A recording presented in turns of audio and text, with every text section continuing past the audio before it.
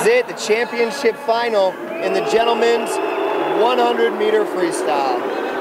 In lane one, top to bottom, Hassan Abdal Khalik. In lane two, we have Martin Ford. In lane three, we have Robert Sabulich. In lane four, we have Evan Reiser. In lane five, Michael Phelps. In lane six, Matt Targett. In lane seven, George Bovell. In lane eight, Dan Madwed. In lane nine, Stefan Hirniak. And in lane 10, Adam Zhu. Expect lane number seven, George Bovell, to be first up and possibly first to the turn. He's got the early speed. The question will be if he can hold off a charge from Phelps, but after just 25 meters, Phelps already asserting himself. He talked yesterday about early speed in the in the 100 butterfly.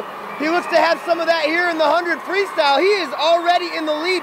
This is going to be fast. 23.59 on the way out for Phelps. Bovell not out as fast as he wanted to be. There's those trademark underwaters, and the crowd loves it. Phelps with 25 meters to go, powering home with that straight arm kind of recovery, more of an arched recovery.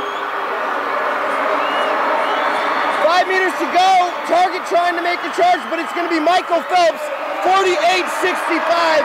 Matt Targett touching second, 48.87. Third place goes to George Bovell, 49.85.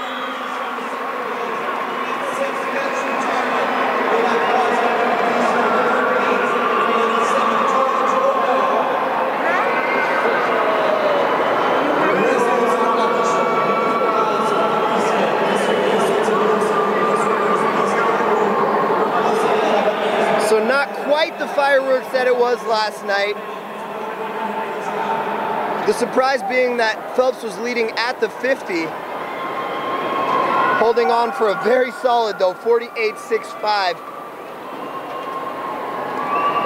Second place, Matt Targett, 48.8. Third place, George Bovell, 49.85.